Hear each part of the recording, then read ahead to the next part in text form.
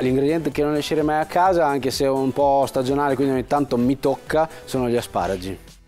Eh, sì, a volte capita di mm, coinvolgere le canzoni e la musica eh, nei piatti, non nei titoli delle ricette o queste cose qua, ma magari un piatto un po' più eh, pop, un po' più rock, quindi sì, mi capita ogni tanto.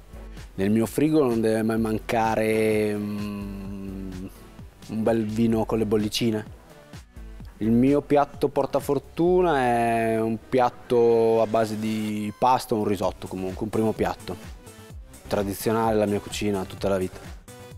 Il mio piatto preferito è la, è la pasta, è banale ma è la pasta, la pasta e la pizza. Il mio eroe in cucina Giancarlo Perbellini. La pasta, il pane e la pizza, carboidrati. Eh, io avrei voluto fare il calciatore, ma... Allora, uno dei miei ristoranti del cuore è il ristorante romano a Viareggio, dove ho anche lavorato. L'ultimo libro di cucina che ho letto è un libro dei fratelli Rocca perché sono stato a cena poco tempo fa. Il complimento più bello è mm, che quando lavoriamo abbiamo sempre una grande pulizia intorno. Ma quello che mi ha portato a fare questo lavoro qua sicuramente è l'esempio dei miei zii e del San Domenico.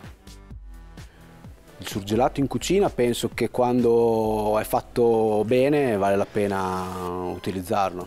Dipende sempre dalla, dalla qualità, dalla base di partenza.